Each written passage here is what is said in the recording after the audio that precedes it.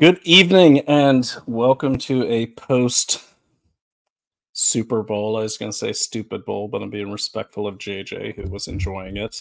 Um, welcome to a post Super Bowl edition of Unrestricted Invasion. I am Brian O'Shea, one of your hosts. JJ Carrell will join me in a second.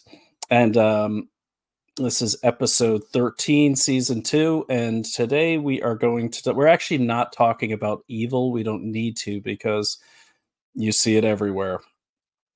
But I want to talk about the fact that all of you know evil doesn't care. So, what does that mean? I haven't been able to really articulate it to myself, and I may not do a good job of articulating it to you, but I'm going to do my best. I have nothing written down I'm just really speaking from my head and my heart.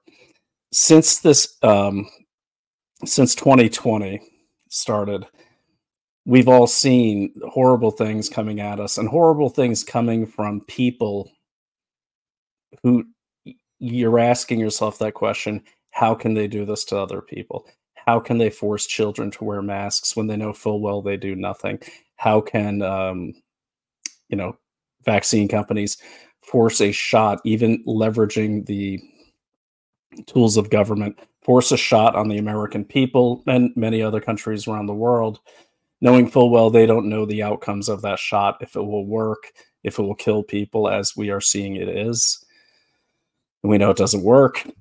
And um, now we see this unrestricted invasion at our border, letting in the worst of the worst. As someone said recently, they're not sending their best. We're seeing rapes, crimes, everything just exploding.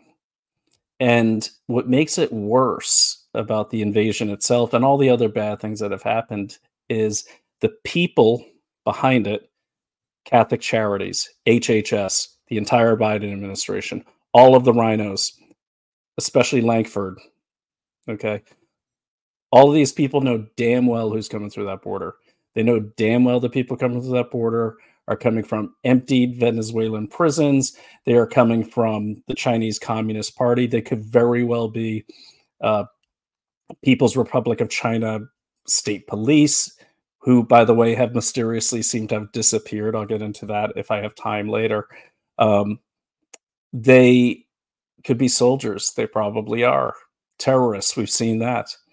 Yet these people, these God fearing people, or these liberals who talk about democracy and everything like that, or even that idiot uh, Joe Houseplant Biden, will sit there and they will say they care about democracy and this guy, this guy over here doesn't, but we do. No, they're all evil, so they don't care.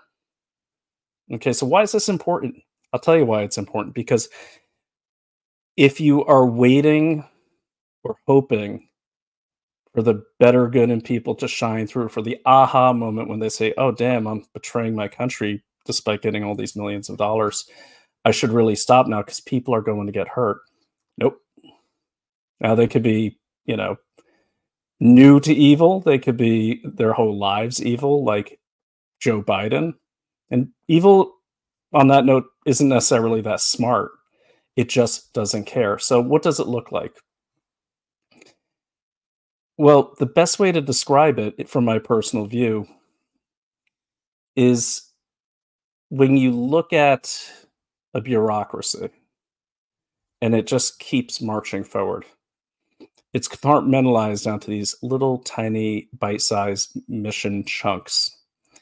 Every centipede leg in that bureaucracy is doing one job, which is attached to another job that they don't know and that keeps it moving forward. But it as an entity, it as a bureaucracy, uh, is going in a certain direction. But the little legs, the little workers, they don't necessarily know or necessarily care where that direction is going because they're doing their little part. A lot of times they're compartmentalized too, not shilling for anyone, but that's that's how it works. When you think about some of the biggest investors out there, the BlackRocks and a lot of these mezzanine funds, they don't know you. They don't know a lot of times the name of their own doorman. Uh, at the beginning of my wife's book, Bodies of Others, which I highly recommend everyone read because of this very subject here, they're out of touch, these people. Okay. It's not like they're sitting there going, Yeah, we're evil. We're going to hurt a bunch of people. They're not even thinking about you. All they're thinking about is themselves. And all they are thinking about is their next goal, their next profit margin. That's all they care about. Okay. But when it comes to other people, they don't care. In my and they don't care even when they find out things are hurting people. Things might destroy their country. They cannot stop. They can't stop because they have no compassion. They have no humanity. They do for themselves, or they think they do. They do for their wives and their kids, or they think they do. But they really don't, because at the end of the day, they're driven by greed or any of the other deadly sins.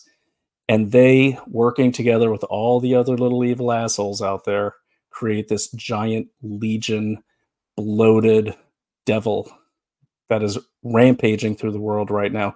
So the point is, if you are waiting for someone to come save us, if you're waiting for, you know, say Donald Trump to take the helm and everything's going to be okay, it's not. I'm not I'm not saying he won't, you know, I'm voting for him definitely. That's a good fire break, but we only got him for 4 years. You could guarantee 50% of that time will be him fighting off internal enemies. Okay?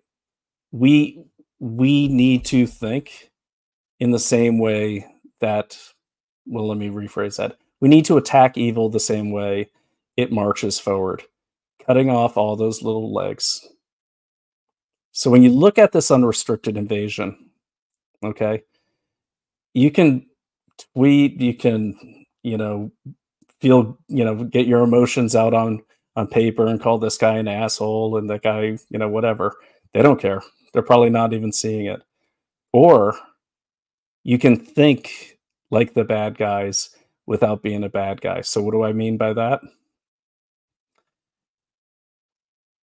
Join and get a job at the United Way. Volunteer for those extra post office jobs during voting season. Volunteer at Catholic charities. And once you get inside, spy like it like there's no tomorrow and leak all of their secrets and bring them down from the inside out. And there are plenty of people on the outside who are also going to bring them down. So, yes, use evil's tools betrayal, lies, deception. Just don't become evil. Don't start liking it there and don't go native. Because once you do, you become evil and then you will no longer care.